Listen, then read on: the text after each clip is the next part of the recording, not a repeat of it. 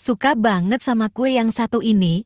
Tak hanya tampilannya yang menarik, rasanya juga enak, manis dan gurih, teksturnya lembut, bikinnya pun gampang banget. Campurkan ubi yang sudah dikukus atau direbus untuk ubinya sebanyak 250 gram dalam keadaan mentah dan setelah dikupas ya, 80 gram tepung tapioka, 40 gram tepung terigu, 125 gram gula pasir, seperempat sendok teh garam, seperempat sendok teh vanili bubuk.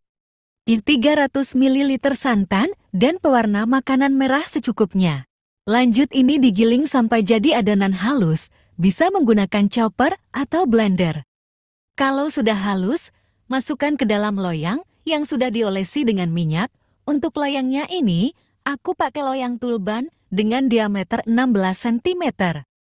Selanjutnya masukkan ke dalam kukusan yang sudah dipanaskan sebelumnya. Lanjut ini dikukus menggunakan api sedang selama 10 menit. Sambil menunggu lapisan pertama dikukus, kita buat lapisan putihnya dengan mencampurkan 4 sendok makan tepung beras, 2 sendok makan tepung tapioka, 1 sendok makan gula pasir, setengah sendok teh garam, seperempat sendok vanili bubuk, dan 250 ml santan. Lanjut ini diaduk sampai tercampur rata, sampai gulanya larut, tidak ada bahan yang menggumpal, dan adonannya pun terlihat licin. Tambahkan seperempat sendok teh pewarnaan makanan putih, kalau tidak mau pakai boleh, di skip, lanjut aduk kembali sampai tercampur rata. Saring adonan biar hasilnya lebih halus. Setelah lapisan ubi dikukus selama 10 menit, buka tutup kukusannya, masukkan setengah adonan putih di atas lapisan ubi. Lanjut kukus kembali selama 5 menit. Setelah 5 menit buka tutup kukusannya, masukkan sisa adonan putih, lalu kukus kembali selama 15 menit atau sampai kunyah matang. Setelah dikukus selama 15 menit dan kue pun udah matang, buka tutup kukusannya, kemudian angkat, lalu biarkan sampai kuenya dingin.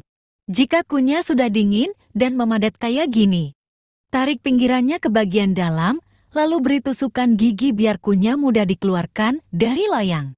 Balik loyang lalu, dengan perlahan keluarkan kue dari loyangnya. Kemudian, ambil tusukan gigi yang masih menempel di kue. Selanjutnya ini mau dipindahkan ke piring. Potong kue dengan besar sesuai selera dengan menggunakan pisau anti lengket atau pisau plastik atau pisau biasa yang dilapisi plastik. Dan ini hasil kuenya bener-bener lembut banget, sedikit kenyal, rasanya beneran enak banget, manis dan gurih. Ini cocok banget buat dijadikan suguhan, baik acara arisan maupun pengajian, yuk dicoba.